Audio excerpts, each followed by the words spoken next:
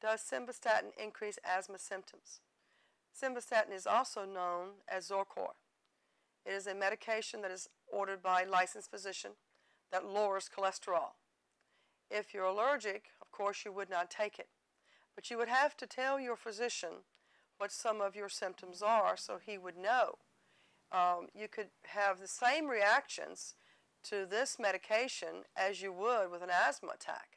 You might have the shortness of breath and the wheezing. So if you're on the medication and you have asthma and you haven't told your physician about your asthma or vice versa, then he will not be able to properly diagnose you unless you give him all of the information.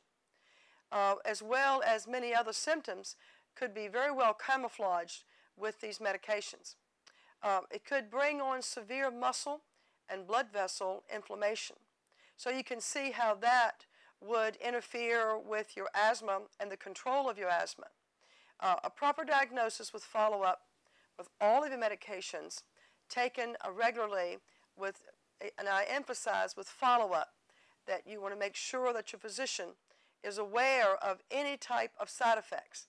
Uh, just remember that simvastatin is a static, uh, statin and it has side effects.